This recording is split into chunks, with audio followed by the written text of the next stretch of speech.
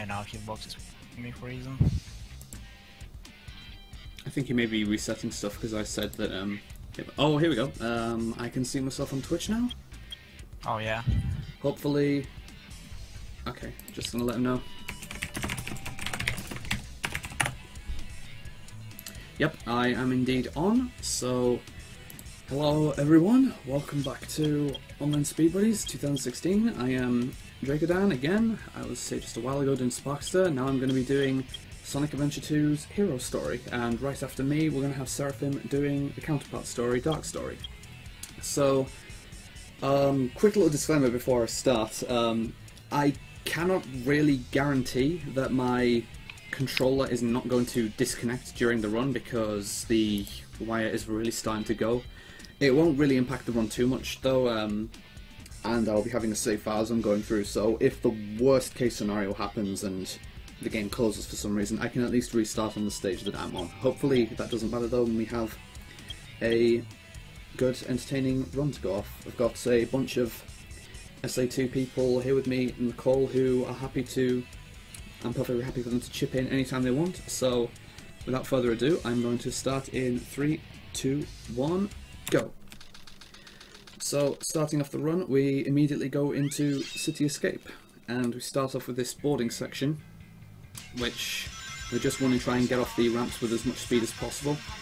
can influence the speed we have a little bit by turning into the ramp slightly as we're about to reach it, because um, turning increases your acceleration in this boarding section. The locations of the cars on these slopes are a little RNG, so sometimes we can get trolley patterns, but it looks like they're being good. Yep, very clean. And as soon as we get off the board, we come to potentially one of the biggest skips in the game and one of the biggest problem areas for people going for world records, which is City Escape Skip, which I'm going to give a single attempt at as I approach. I'm not even going to try to explain what's going on, and if I get it, I get it, and if I don't, I just don't. I need to be in ball form here. I got the ramp jump, but I didn't get the skip. That, my heart stopped for a second there, but unfortunately, no. It was not to be. so basically what can happen there is with the correct position coming off the ramp and the correct speed range, you can hit the zippers that I landed near whilst I'm out of bounds for three frames, which zips me to the side and I fall through the stage and land near the end of the stage. Unfortunately, it's really, really inconsistent. It's actually like borderline random, whether or not it wants to work or not so it's unreliable to hope for in a marathon. I say that as someone who has gotten it in two marathon runs, but it's not very consistent. So instead we're progressing through the stage as normal with some rail sections and some pit skips, and we're about to come up to the end of the first stage with what we call the truck section. A lot of people know the section with the truck chasing you. Quickest way to get through this section is to simply spin dash down all the hills. Just charge a spin dash and let it go, since when you're in ball form you accelerate a lot going down hills and then I use some carefully timed spin dash charges to spin dash charge as I go over the crests of hills, so that I hopefully don't come off the hills. This is a little sloppy, but I'm not coming off any hills, so I can deal with that. Okay, decent truck section. And now we simply spin dash to the goal ring. So 201 is an okay city escape. I would prefer to be a few seconds faster than that if possible, but I'm just happy for there to have been no real hiccups during that city escape, since as I went down the skyscraper section, as I got off the skyscraper at the bottom, I had a really bad camera angle, which, I mean, it doesn't really affect anything, but a lot of how I play this game personally, oh yeah, modded music as well, enjoy that. A lot of how I play this game personally really relies on being in my own comfort zone and prepared for exactly what's coming up, and having things like irregular camera angles or weird physics things happening can really throw me off sometimes, and that's a dangerous spot of the stage as well to take a death, so I'm glad nothing really wrong happened there. So we have the first boss here, Bigfoot, which is a simple four-hit affair, using these front set of boxes near him, which is a little more precise than it looks, since the collision detection on those boxes is actually pretty poor. But it went fairly well, and we're going to be approaching the first Knuckles stage, Wild Canyon. Knuckles' stages in this game are a very RNG heavy affair where you need to find three pieces of the Master Emerald which are randomly generated throughout the stage and we need to use these hint monitors. I've already got a green piece, and my first piece is near the six pillars, which is an okay piece. I know it's going to be in one of those front two rocks since I had a green radar ping at the start. And yep, it's a safe bet for at least one piece to be over here on the sandy path. And this is, okay, this one under the weight. Get out there, Knuckles. Took a hit, but doesn't matter. And my last piece is arrow pointing to the right. These pieces are pretty average. Need to go back down to the bottom now. Okay, 28. Yeah, that's a very average, maybe a slightly below average Wild Canyon, but not too much I could have done about it. So each knuckle stage has approximately 100 pieces in it. I want to say that Wild Canyon has exactly 91 pieces in it, but someone can correct me if I'm wrong on that.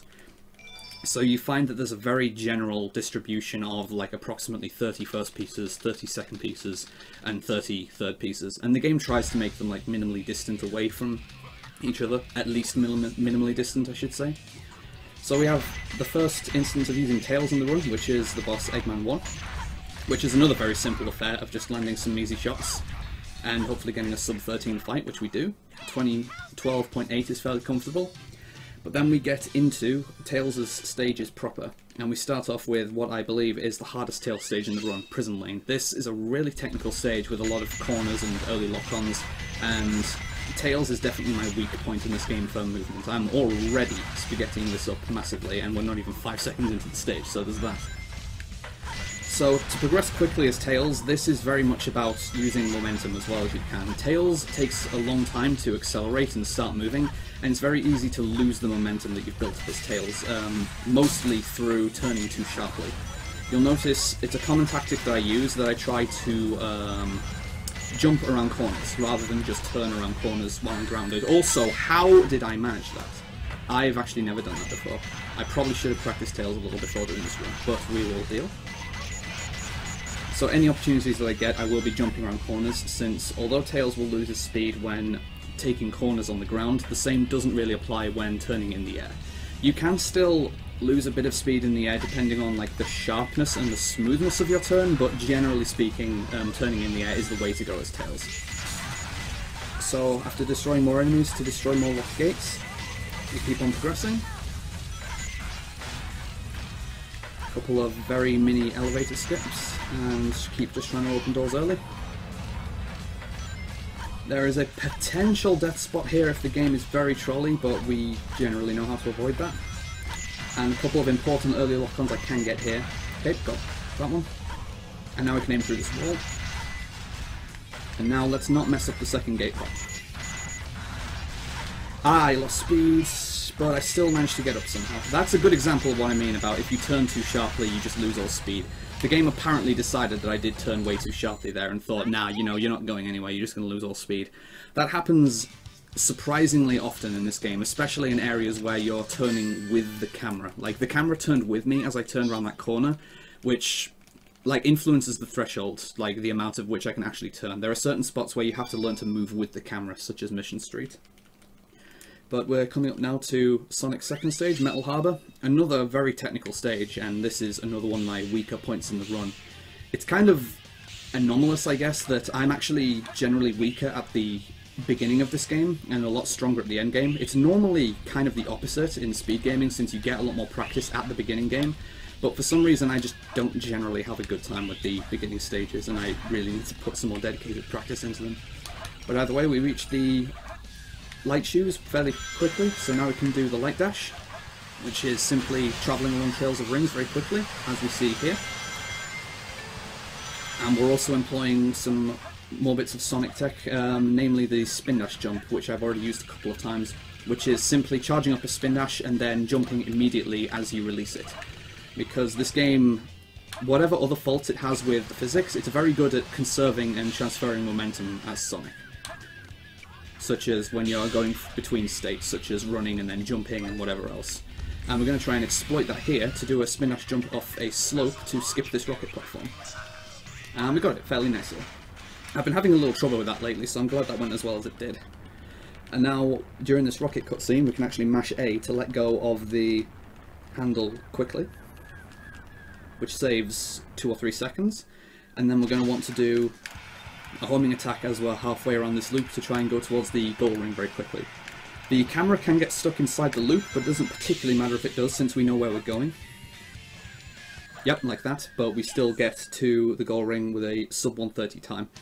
Not a particularly clean Metal Harbor, but that stage can go horribly wrong in a lot of ways, so I'm quite happy to just get a fairly uneventful um, Metal Harbor there with no real problems. So, coming up to Sonic's first, well not first boss, we had Bigfoot. Um, the first counterpart boss for Sonic is Shadow 1. Um, a fairly simple affair where we just need to land three hits on Shadow, but he really doesn't like taking damage. If you try and attack him from the front, or generally use actions that the AI can detect are intended to cause damage, Shadow will just jump and become invulnerable. So we're going to try and exploit a couple of tricks, such as storage, which is transferring a state through an incorrect animation. I'm also, against my better judgment, going to go for the IL strat here. And I missed, whatever. That only loses a very minor amount of time as long as I bail out of it quickly. Uh, nice! Homing attack, Shadow. He's on the log as well. Yep. Ah. So that's losing a lot more time than I intended now, but it was worth trying to show off at least. So what I was trying to do there was spin dash towards him, and then hold B as I accelerated towards him, which would give me, as I called it, the storage state, which means the game thinks I'm somersaulting as I'm actually in the running animation, and it transfers all of the properties of somersaulting as well, such as being able to inflict damage on enemies.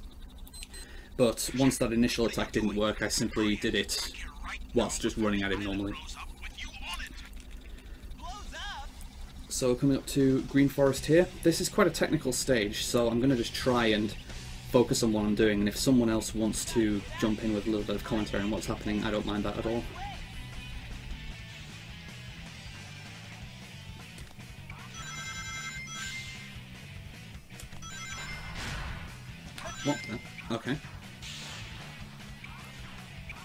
Okay, I guess I'm flying solo on the commentary as well then. So, a little bit of a hairy start to Green Forest, but we get to show off a couple of tricks, such as another usage of storage is if you use it into springs when I'm charging a spin dash, I can actually remove whatever charge time I had from entering the spring, and then it simply comes out after I exit the spring. It's a little difficult to explain like that, but it's observable when you try it yourself. Can I make this? Yes, okay. I don't like that loop skip very much, but I'm glad that it didn't punish me. Let's try and get down this slope quickly. Nice. Don't turn too sharply. That was still decently fast, though I'm a few seconds behind where I'd like to be at this point. Um, Green Forest has a very high optimization ceiling for playing. So I could do a major skip here um, called the wall run, but I'm very ill-practiced at that strat, so I tend to forego it in runs so far. Long story short, this game has what's called loop speed triggers, where the game helps you around loops by, when you reach regular intervals of a loop, it gives you a burst of speed. You can exploit that by going on the outside of the loop, and then homing attacking into the loop speed trigger, which gives you the burst of speed in whatever trajectory and angle that gravity is currently setting, which actually makes you fly sideways straight into the loop, into the wall. I'm going to try to get a loop speed trigger here. Ah, oh, no, I, I got the loop speed trigger, but then it threw me outside of the loop and straight into the water for a death. I'm gonna give it one more go here. Oh, I've got... Yeah, I got it that time. So that's what I was trying to do, but loop speed in this game is really very volatile and difficult to control. But you can at least see the effect there, that you can enter that um, other side of the loop very quickly. So 143 Green Forest with a death. Um, not particularly good, I'm not particularly happy with that. I normally play Green Forest a lot better than that, but you know, you can't get good stages all of the time.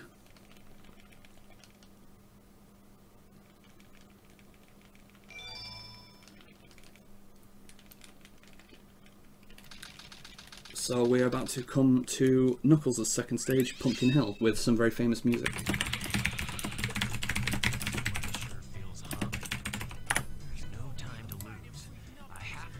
So first things first, we need to pick up Knuckles' upgrade, the Shovel Claws, which allows us to dig in the ground. And we do it whilst grabbing a hint at the same time to cancel the animation, which saves a little bit of time. And now we just need to go for our pieces, such as 3 Foot Gap, which I know is over here on Pumpkin Mountain. One thing that should be noted about Knuckles stage Pumpkin Hill is that the second piece will always be one that you have to dig for because the, the uh, third trying piece, to make sure technically. Oh, sorry, the third Yeah. piece should always be one that you have to dig for because Yeah, that's correct. it's trying to make sure that you actually pick up the upgrade. Yeah, you can keep dying after you've had your first two pieces to try and re-roll various third pieces, but the game will continually give you um, third pieces that you need to dig for.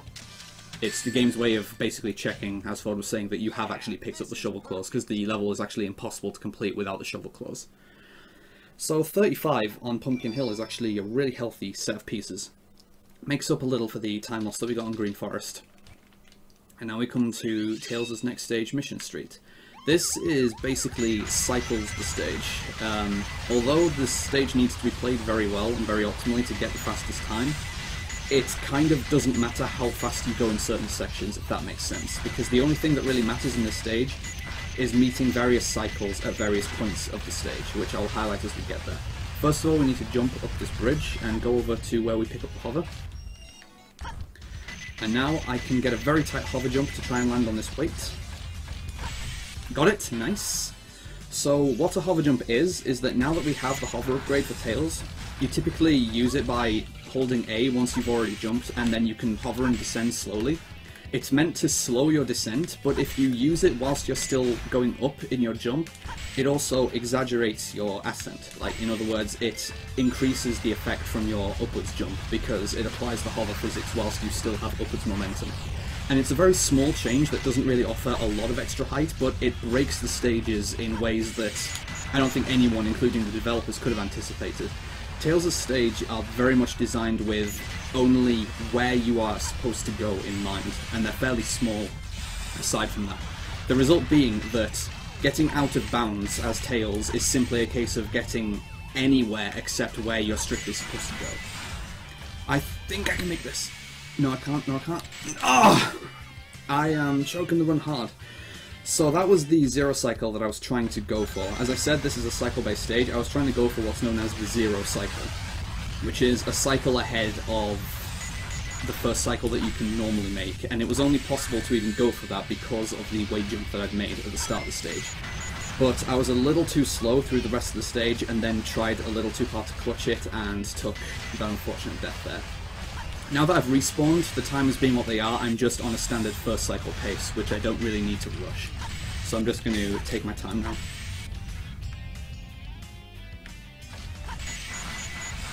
Yeah, I can't meet this cycle, but I can meet the half cycle at the front here. It's only faster to go up the front of these drums when you just miss the cycle at the back. It's what we call catching a half cycle. It's just the cycles themselves are on a universal timer, so when the back one has just gone up, that's the only time in which it's faster to take the front cycle like that. So we do a hover jump over here, because thankfully that slanted fence is not solid, and now we just need to progress to the end of the stage, which involves getting through a couple of these tight corridors with a lot of destructible objects, which hopefully will not obstruct us. I kind of know how to get through here. That will do nicely. And I didn't even get stopped stopped by the police car, which is always nice. This is an example of turning with the camera.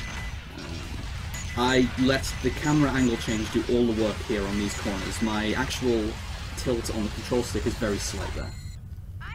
So 217, which is a quote-unquote 0.5 cycle mission street, although it was with a death, so uh, a lot less happy with that than I could be.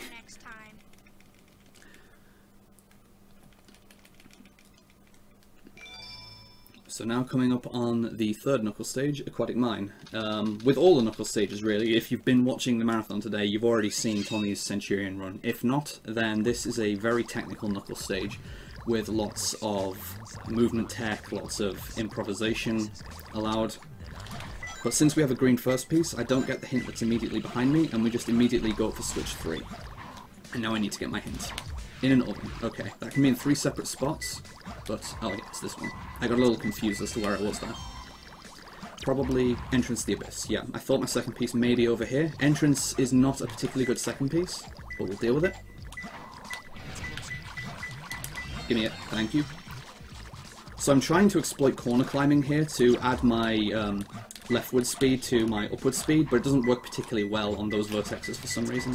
But then we get a very good third piece, skull that's facing the other way. So I had two pieces in the main room and one piece in the narrow path, which is pretty good. It's a lot better than getting one of the pieces in either the ghost room, the stair-shaped brick room, or the main top room that I was already in, since doing backtracking obviously wastes a lot of time. So that RNG was actually pretty healthy. And we now come to the only instance of a driving stage in this run, Route 101, which is basically two minutes of snaking back and forth. Aside from explaining how it works in that whilst you are drifting, the game doesn't calculate the speed cap properly and just allows you to travel at the boost cap constantly as long as you don't decelerate. there's not too much to commentate on in how the stage works. So, if any of the other runners would like to now chip in, give any general comments or any thoughts on the run, now is a good time to do so. Um, I'm probably just gonna say that the, one of the reasons why Aquatic Mine is so difficult is because of the fact that there's a lot of movement tech to get to the pieces very quickly. Like uh, the fact that uh, you can actually get to the top of the room, the what would you call it, the top room? Yeah, I would just call it the top Yeah. room, yeah. Yeah, you can get to it from the pillar by jumping at a specific spot on the pillar and then gliding to the uh, pulley in order to get back up so you don't have to hit the first switch Yeah. a second time should you have a piece in the top room as a second piece. Yeah, it's a, third. it's a very short jump, but it is actually quite precisely placed. There's also, uh, this was used in Tommy Centurion earlier, a wall run that you can do off of the uh, signs that are located on the sides of Aquatic Mine. Mhm. And uh, basically, I believe it involves you. Uh, Draco, you can probably explain it better than I can. Uh, you simply land on the slanted sign, which is treated as a floor, and then when by punching, as you get on the sign, you get what we call the punch acceleration burst, which we use as an it, that's a normal form of knuckles tech that we use everywhere else, where punching whilst on the ground with a decent amount of speed will instantly accelerate you to max speed. But we exploit that on the sign because the slant of the sign joins up exactly with where the wall is, so there's the game doesn't really treat it as though there's a gap between the sign and the wall, so you can then transfer that speed onto the wall and simply run on the wall. This game is really lenient with wall running mechanics where it's actually possible to do so. All three characters can actually do wall runs if the conditions are right. Even like Tails and Eggman's mechs, they can technically wall run. You just don't really have many opportunities to do it, and it's largely a TAS only thing for the mechs. So, getting out of Route 101 with, I think it's going to be a high 215 time, maybe a low 216. I couldn't exactly tell from 215.99. That is the highest 215 you could manage. so I was technically right when I said I was going to get a 215. So, now we get more chances to exploit our newly acquired hover with Tails with Hidden Base. This stage is the single best example of what hover jumps can really do to this game in terms of breaking it. The hover jump's are already extensively used in this stage for crossing gaps that would normally be far too wide for Tails to traverse normally, but now we can apply it to go out of bounds in a lot of places that we are really not supposed to do so. For instance, we can get on top here, and now we can see that if a developer did not intend for a player to be able to reach a specific spot, the walls in that spot simply are not solid. Like any time that we use a hover jump to gain a little bit of extra height, it's likely that whatever wall we encounter is simply not solid. So we're going to be using that to great effect, as well as to be able to cut off specific corners in the stage, such as this. Normally you would take that pulley, destroy these blocks, but instead we can go around here. And to adjust the camera a lot in this stage, such as where I did just there and in other spots, I quickly tap the shoulder buttons to simply force a camera switch. Which, it's not very noticeable, but it's very, very important. You can struggle a lot on a lot of these minor skips if you don't use any camera control because you can't really see where you're going, and it's difficult to judge where you are and when you where you're going to end up at. But with camera control, it simply becomes a case of having a straight line, so it becomes a lot more manageable. So I'm going to attempt now what we call the maze skip by using hover jumps on the top of here. That's good enough, nice. Good maze skip. So now we simply need to not lose momentum.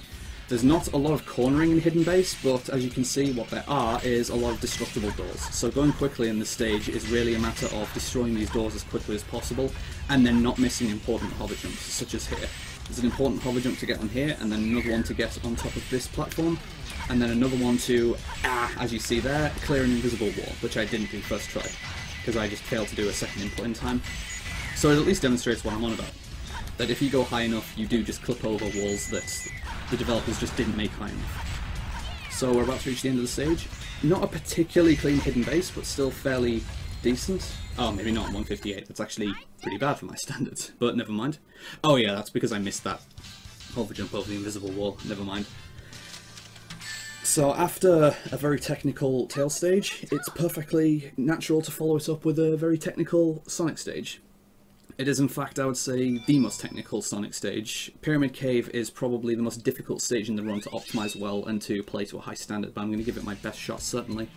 And it's where we're going to pick up Sonic's best upgrade of the game as well, the Bounce Bracelet. Whereas Tails breaks the game with the booster, Sonic definitely breaks the game with the Bounce Bracelet, which we're going to pick up about 30 seconds into the stage, and I'm going to explain a little more how it works as we get there. First of all, some weird bounces using geometry, such as on that hourglass and then this corner, combined with some spin dash hovering by combining the effects of floaty jumps with upwards momentum. And now we get our bounce bracelet and we can do what is called the super bounce, which is this. In basic terms, if you approach a wall with very high speed and then bounce before you hit the wall, for whatever reason, the game interprets that as an instruction to convert all of your horizontal speed into vertical speed, which basically means you're going to go really high. And now with a precise spin dash jump, we can just skip straight through this door. This is a really healthy Pyramid Cave so far, and that was, I barely even needed to set up that door skip, so I'm really glad that went as smooth as it did. And when we're not super bouncing with the bounce bracelet, we're exploiting gravity instead. Um, the game pretty much always tracks gravity as being in whatever direction you are currently downwardly facing. And if you're on a slope like this and then bounce, gravity is hard set in whatever direction you're falling in for a while until you hit a specific sort of reset trigger, which is very exploitable in places like that, as well as the last loop of the stage that I'm about to come up to. Do some spin here, one more super bounce. Gravity into homing attack, help the camera. Help! Help! Help! Why will it not reset? I'm dead. What just happened? Uh, well, I know what just happened. That was a combination of speed pads and loop speed triggers. Um, speed pads have the annoying characteristic of resetting your of locking your controls. Like they give you a specific speed value and send you in a direction whilst also locking your controls for a little bit. And the wow, what is this? And the loop speed triggers also have the characteristic of, as I said in Green Forest, they give you a burst of speed in a specific direction. Both of those things amount to going very fast in a specific direction, but not having very much control over it. I even hit another loop speed trigger in midair there, which um, re-railed me onto the direction that I needed to go in, but it can also send you in the opposite direction as well. We have a super bounce backup if we fall into that pit there. This was a really clean Pyramid Cave before I choked the end as well. That's a shame. And it's all because the camera got stuck behind one of the walls. So one more gravity bounce here. And we reach the end in what should have been a good time. Uh, with a death, we get a 138. Had that been deathless, that would have been quite a healthy Pyramid Cave, so I'm quite disappointed about that. It really just shows in this game that all it takes is for one silly camera quirk to happen, and then combine that with some weird physics stuff that you don't expect, and things can really rapidly fall apart. That was my fault for dying, really, because I should have just gone with going up the loop and not tried to fight it. So after Sonic's most technical stage, let's have Knuckles' most technical stage, or most difficult stage, um, in my opinion certainly, Death Chamber.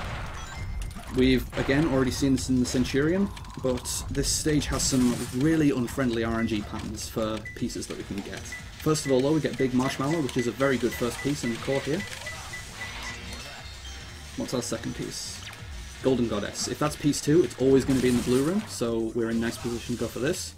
Optimal here would be to get a third piece in the blue secret room, since we're very close to it physically, but it's actually in a completely different spot the stage. So let's hope. Don't give me Iron Protects the Safe. Don't give me Iron Protects the Safe! I literally just said that. That's not what we do. So now we need to go all the way back to the opposite side of the stage again. Thanks, game. Although, that said, we can exploit a door clip here, if I'm in the correct position with camera angle to do so. I really don't like this clip at the best of times. What is this? Okay. Ah, I didn't reset the camera when I should have. Yeah, um, the camera fails to follow you there if you enter the core from the blue room and don't hit the floor fast enough, because a lot of the camera in this stage is based on proximity triggers.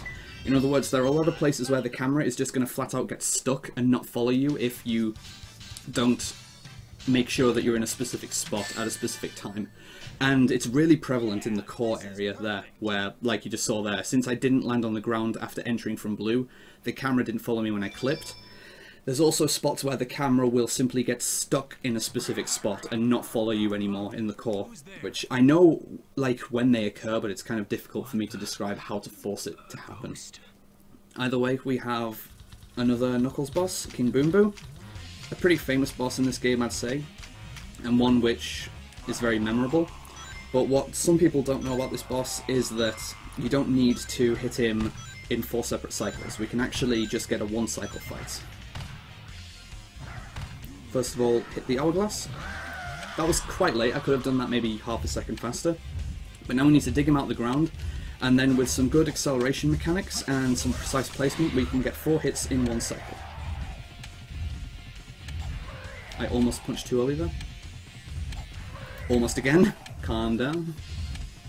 Alright, standard fight. That's going to be probably a mid to high 45, which is a little improvable, but the main thing about that fight is making sure that you get the one cycle. And we immediately come to Sonic's next boss, Egg Golem, which is one of the hardest parts of the game, certainly. We're trying to use super bouncers here, but the platforms are so narrow that there's only a couple of frames for each input. So naturally I get the first one. Naturally I get the second one. And naturally I get the third one. Free fight every time.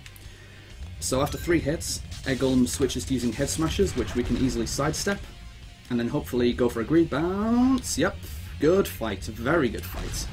That is a lot harder than I make it look, trust me. So, super bouncers do take a lot of practice, but that was just a really, really nice Egg fight. I can't really overstate how well that went. You can kind of determine pace on Egg Golem like that based on how many attack cycles he goes through, since you can't really interrupt an attack cycle once he's started on it. Like, if he's smashing his fist, he's gonna do that. If he's head smashing, he's gonna do that, etc. But we come to Eternal Engine, which, like the previous, um, well, not the previous Tail stage, but like Mission Street, is also a cycle-based stage.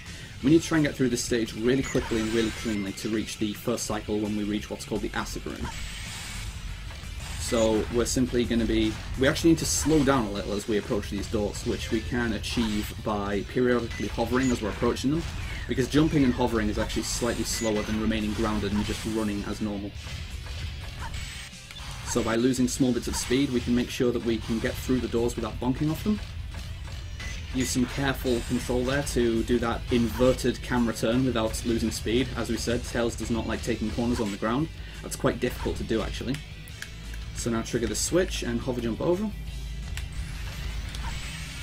Hopefully get these pages. Good, very good. This is definitely first cycle pace. So just grab the switch here to prevent this weight falling. You can go without that by just jumping off the weight, but it's a very precise placement. Yeah, this is a healthy first cycle. This is very good. And we even get the artificial chaos. So that door remains locked until that chaos is dead, and the easiest way to dispose of it is just to do a punch right next to it, rather than mess around with trying to projectile it. And now with a precise setup, we clip straight out of Eternal Engine. So Tails' collision is really, really awkward. I mean, collision in this game in general is very awkward, but it's even worse on bigger models like Tails' hitbox. And the drums in the corner there have really weird collision of their own. All of that basically combines to the game saying, I don't know how the hell to deal with this, and weird stuff happens. So if you approach that in the very specific way that I did, the game will actually clip you straight out of bounds. You can also use the door to achieve that, but I don't particularly like that method, as I find this method very consistent as long as you set it up right. And now we simply glide to the end, and we drop straight into the goal ring. 202, a very good Eternal Engine. That's as good as I could have hoped for. So some parts of this run have been really patchy so far, but then there are stages like this which are really fighting to make up for it. And after what was Tails' last stage, we're now coming up on Knuckles' last stage. So the RNG of the run is almost over. That said, opinions differ on just how punishing this upcoming stage Meteor Herd is. Some people really hate this stage. I actually really like this stage. You can get some horrible piece combinations, as we saw on the Centurion, you can get like floating stone above a moon. Hopefully I don't see that, and I get some of my trademark good pieces, which I haven't gotten since I got Between the Rotating Beacons Piece 1, that's an automatic reset. So let's reset for pieces, and we get Fast Rotating Meteorite Piece 1 instead. This is better, but still not great, but we'll see where it goes. This is in the jump from the star area over here, and that is this one, because of the radar range. An important element of getting good at Knuckles is knowing how to determine ambiguous piece placements based on the radar range. It's really difficult to get used to, but once you know, you can save a lot of time from just seeing, oh, this is where the radar pinged, so this is where that piece is going to be. And we get Dig while watching the moon for piece 3. Is that here? Nope. So now we go to bottom. Okay, and now we take the spring over here. That's the quickest way to check all three locations on average for that piece. So we get a 42, which is still a very nice Meteor Herd. It's a shame that we had to take that initial restart, but once we got the pieces that we did, those were pretty healthy. And as I said, for checking for dig while watching the moon, that is the best way to check it on average. You go dive past the top one, then go to the bottom one, and if it's not at the bottom, you take the spring, which immediately takes you to the middle one. It's faster on average than checking top, middle, bottom. So now we come to Knuckles' final boss, which is Rouge. Normally, we would pick up a ring for safety, and then use repeated drill dives to keep her locked down in a pattern, because her AI is very aggressive, but not when you're airborne. So by repeatedly jumping and drill diving, she doesn't do much. I don't really bother with the ring, though. Because we don't need it.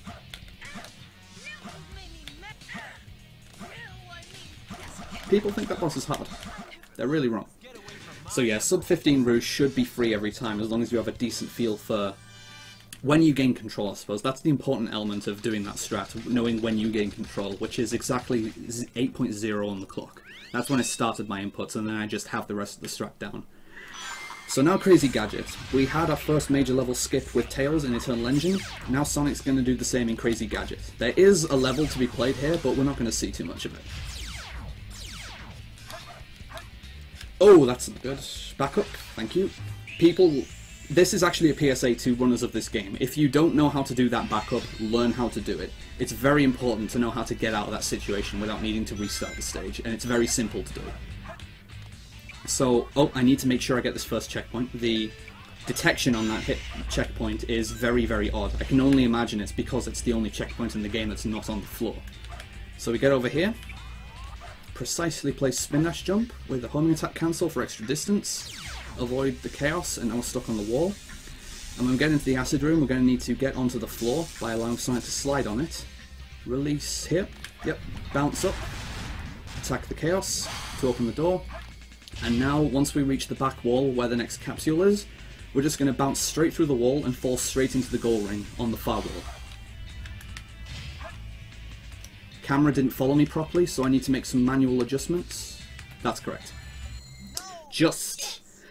Yeah, that fall is difficult to gauge when the camera doesn't follow you through the wall properly, since you really expect to see the far wall in a specific state and then recognise where you need to go relative to that. But with a decent understanding of the wall layout and where you need to end up, there's more than enough time to do manual adjustments, which I'm fairly grateful for. So now, let's come to Tails' last boss, Eggman 2 also known as the casual's nightmare I suppose. A lot of people really don't enjoy this boss, but it is fundamentally very simple as long as you know how to manipulate his positioning and his attack patterns.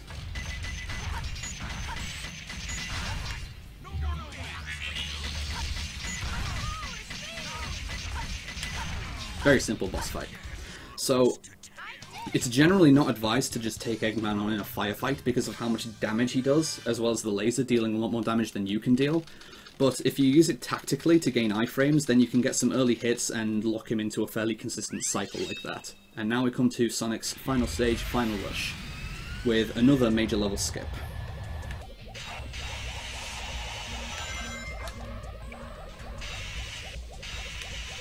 A little slow on this rail, but that's fine.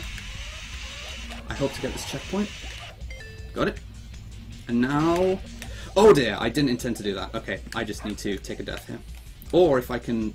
Ah, no, I can't even reset gravity now. So this is an example of how janky the gravity physics can be in this game. You can see I'm not exactly facing directly downwards, and this isn't really supposed to happen. Thankfully, I still hit a kill plane. So we restart from here, and let's have another go at landing on the rail the way I was supposed to. And now we jump off with sideways gravity, and we keep this skewed gravity at a very specific angle for a specific amount of time. I need to fall in this direction for 16 seconds from when the camera pans, so I'm going to reset gravity at 36, and then turn to a specific angle to fall to the end of the stage.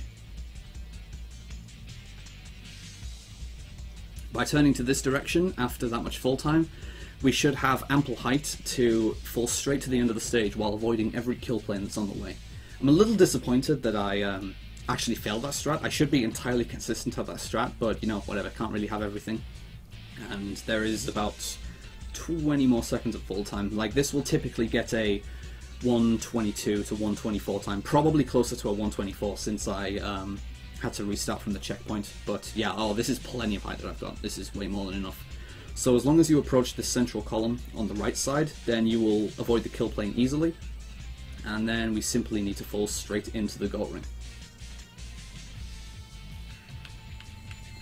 123, so about in the area that I thought I was going to get.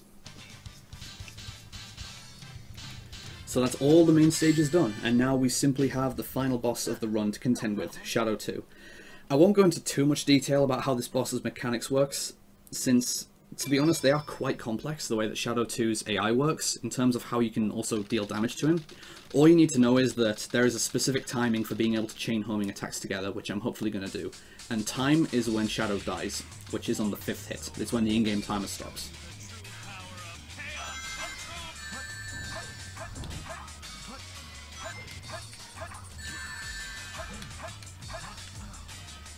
And time. 39.38. Um, not a run I'm particularly happy with, considering that was over two minutes from my PB. And I've improved substantially at this game since last I did a marathon run, but um, I felt that everything that was important went quite well, uh, aside from Pyramid Cave, that was an atrocity. And I'm yeah, I'm fairly happy with how that run went actually. The RNG was actually quite nice during this run as well. Even Death Chamber, which was kind of janky, Iron Protects the Safe was a bad piece to get from there, but I still got to it fairly... No, no, I didn't. I didn't get to it quickly. What am I talking about? I struggled with the door clip. Never mind. Um, if there is extra time to um, burn on the schedule, though, then I do have time to demonstrate a quick little something with the organizer's permission. I've gone into a couple of, like, extracurricular that's a really pretentious term, but um, weird things to look at in this game, including playing the stages with additional restrictions, such as I've completed City Escape without the use of the A button, or more specifically, I've also completed City Escape without the use of the analog stick, which I would love to be able to demonstrate right now. Okay, um, I've got the go-ahead. So I'm going to need to close and reopen the game. So the game's meant to be gone here. It's simply a lot faster to close and reopen the game because of um, not being able to skip the credits. So I have no way to show this on camera because, okay, and the game crashed on startup. That's that's normal, don't worry. It happens with SA2. Close. Close. Alright. We'll try again. So we open the game. Hopefully it, get, it gets past the initial loading screen and the title screen. And if it does, then we're good. Nice, we're in. So as I say, I don't really have a way to verify that I'm doing this stickless. You're just going to have to take my word for it that I am playing this stickless. But once I get into City Escape, I'm not going to touch the control stick. I swear to you, I'm playing this with one hand. I'm only using the A button and the action buttons. I don't really have an estimate for this. I can only say this may take like up to 10 minutes, but I believe I have this consistent and it shouldn't take me that long. So we're going to see how this goes. First of all, with going into how this is possible, you may think, well, this isn't going to work, you're just going to hit the far wall and bounce straight off. Well, physics in this game aren't always entirely predictable. So the game doesn't really do bouncing straight off walls. Instead, you bounce off at funny angles instead, which this is the main thing that we're going to exploit throughout the run. That I don't even need to touch the control stick or any buttons to get through the truck section, and then once I get off the board, I can turn quite adequately just by spin dashing against walls, which will actually force me to change directions. And from there, it's simply having a good understanding of how Sonic's mechanics work and how to influence specific parts of the stage. So I turn around there, for instance, and I can use spin dash jumps to progress here. I can hopefully turn by using these weird slopes. Uh-huh. And now turn around here.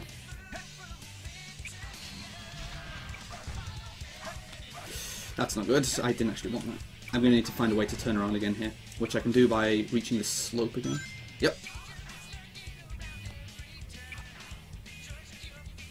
Oh, game, please. Alright, looks like we're going back. That's not an ideal start, but we'll get there.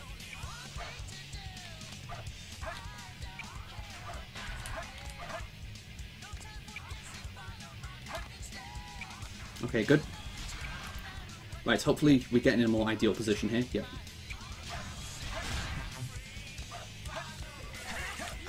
This is not exactly what I want. Good. Good. Good. That's exactly what I wanted. That's a very difficult part of the stage to get through without the use of many tools, so to speak. Alright, I need to...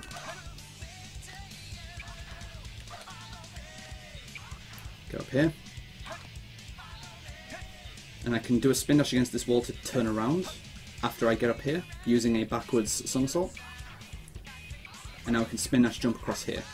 And once I get launched here, this is perfectly fine because I can actually use a light dash here against these rings and I can get myself in position by using a somersault counter. This section is fairly elementary. You can actually just use the prescribed route by going along the ramp paths.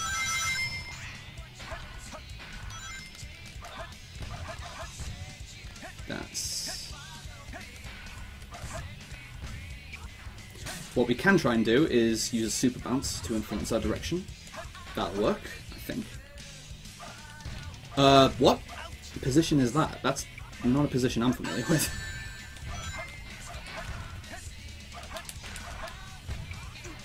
No, no, it's going wrong. no! ah! Okay, um, we'll deal with it. That's not to work. I need to be turned around here.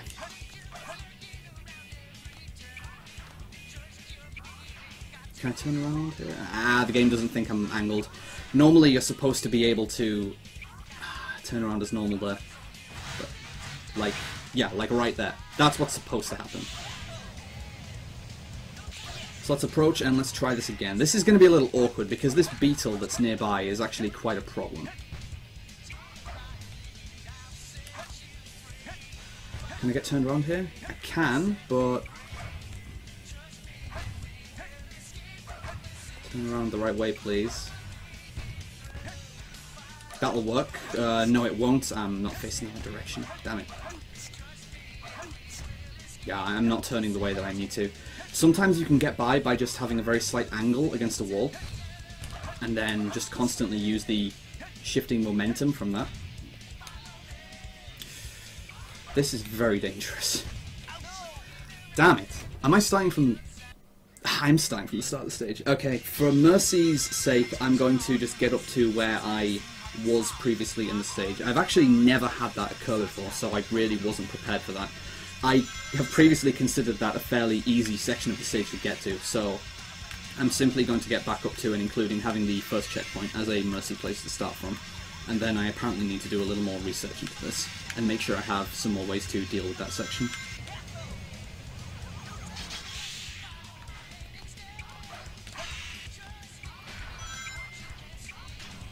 You move so fast when you're able to use the control stick. Brilliant. Alright, so starting from here again. Now let us use only the buttons and no stick. I've even got rings this time.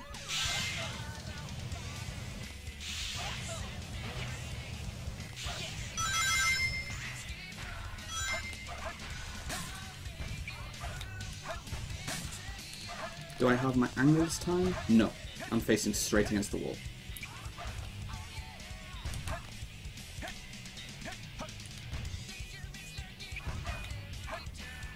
Sonic really does not want to cooperate right now.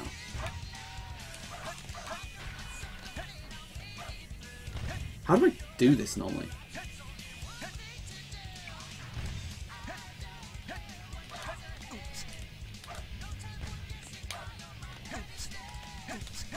Like, this is being really awkward right now.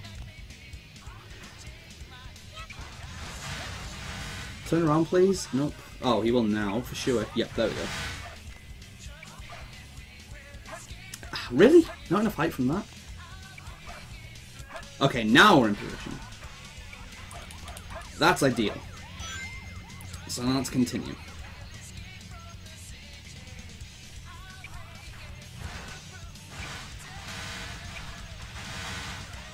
To get through here, we need to hope to homing attack target the spring. Which Sonic is not wanting to do, because again, he's faced the wrong direction.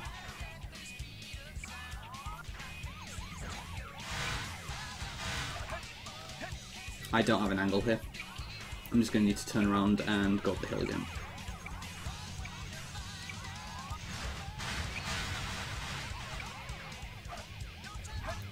And again. Ah, I'm facing the wrong direction now. What? Okay. That'll work. Alright, doesn't really matter that this isn't going well. We can bounce straight down here, and this is actually really fast, so...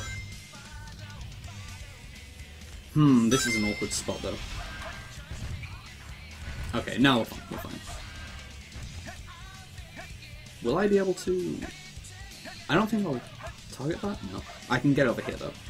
So, for pure safety's sake, it may be prudent to take that checkpoint there, but I've, since I last worked on this, have worked out some setups to deal with this next section fairly decently. Getting down this skyscraper um, puts you in a dangerous spot. As soon as I get around this loop. It's quite difficult to get outside this loop. That's not going to be enough. No, nowhere near. I almost got the setup list there, somehow. Ah, come on. No, don't do that. Don't go that way. That works, I suppose.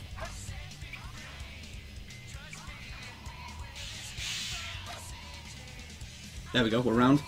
We should be in precise position here to be able to do a fully charged spin dash, followed by a super bounce off the far wall.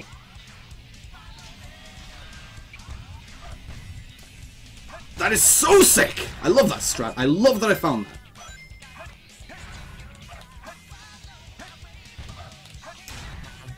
The physics... People who say the physics in this game don't work, they're wrong. They just don't know how to work with the physics in this game. Alright, I do need to get off here though, because this is dangerous. With this pit here, you can imagine that there's a lot of potential for things to go wrong, such as what's happening right now. That's not the ideal position to be in.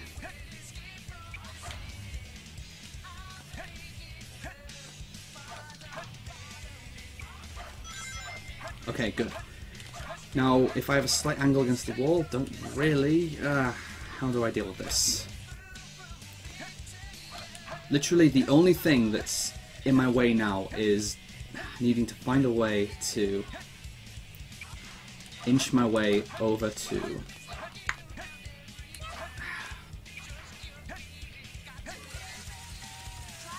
Can I exploit Omochao here? I don't think I can. I mean, I can get an angle like that, but I can't... Yeah. That's awkward.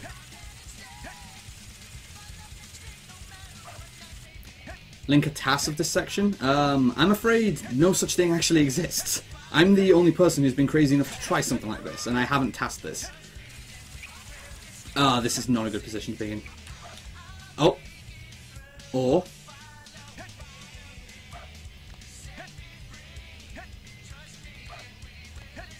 That may work. No, it won't, because I'm a Omochao's in the way. Ah, damn it! Now I'm facing down.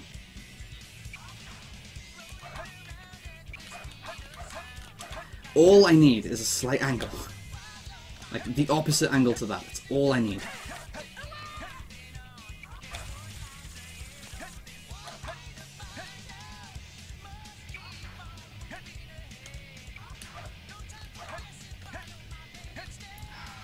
I do apologise for this. This is not at all what I was intending. Can I at least get the checkpoint? No, of course I can't. The game can't even give me that courtesy.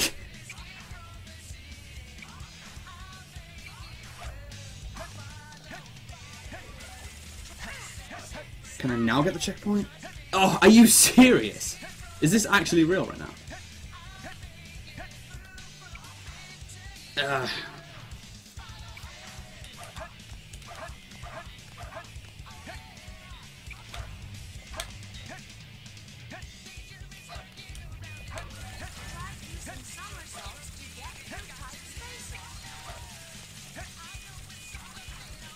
This isn't working, is it?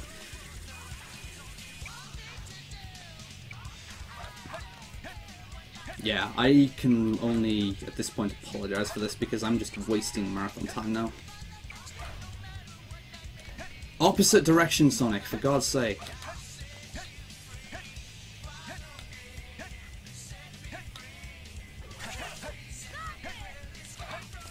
Just face against the wall slightly in the other direction.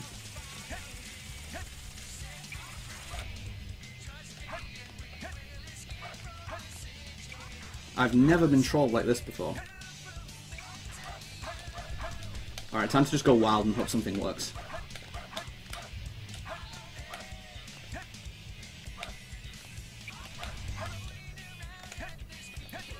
With relatively little success.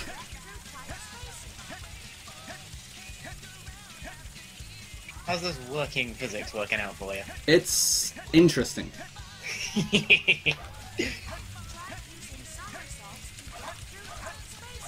Do I have a slight angle now? I do. I think. I am. I'm moving. Okay, we got it. Oh, this is the absolute worst way to show this. But I do technically have an angle, and I am moving, so I'm just going to have to spam homing attacks for a while.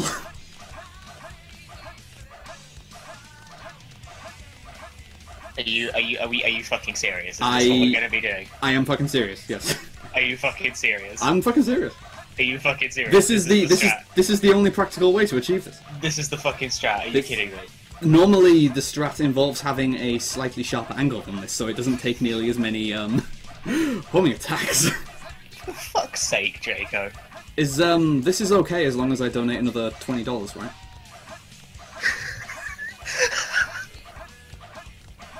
if for some reason, as I reach the fence, this fails and shifts my angle, I, I will like call mercy and I will just go under the somersault barrier though, because I will agree that is the point at which this is just. Not Are you acceptable. serious? I, no, I keep asking serious. It's very serious. Oh Is no. This is the pinnacle of gaming. Look, once things don't go to plan and you find something that might work, you just run with it. That's the This simple is truth. it for me. Don't turn off. Um, SA2B speed running at its finest, ladies and gentlemen. Oh no, this this speed running. In a nutshell. yeah, this uh, this didn't exactly go to plan. I'm gonna say. So I like, I do apologize for this, but like, I feel at this point that I should just finish what I've started, so to speak. I mean, we're almost there. That feel one still better than Dark Story. I do need to slightly make sure that I'm under the rough center of the barrier though, because the detection on the very edges of the somersault barrier is very, very not good. And if it takes like more than like almost immediately as I reach the goal ring, then I'm not gonna bother with that. I'm not gonna waste people's time anymore. Don't worry. All right. So we actually get into the truck section after way too long. I, I am sincerely sorry about that. Just as well, the truck section is fairly similar to watching an actual speedrun. oh, we can bounce down it as well. Which isn't actually faster, never mind. And I'm not even in the correct position to... Dude, don't light dash! That's not correct.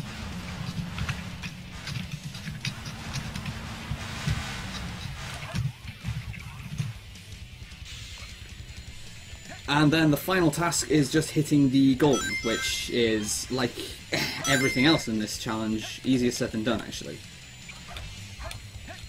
Can I get... No, don't whistle. Don't do that.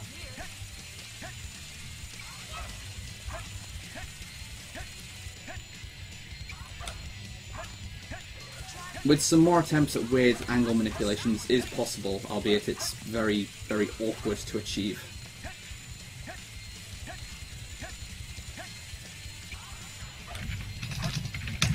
That's not quite right.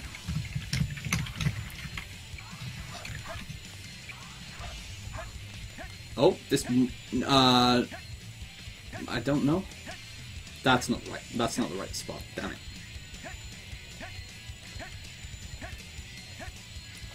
Neither is that. Man, Slowly but surely. with emphasis on slowly. Quite. Speedrunning? Anyone? Anyone? I remember when I did speedruns.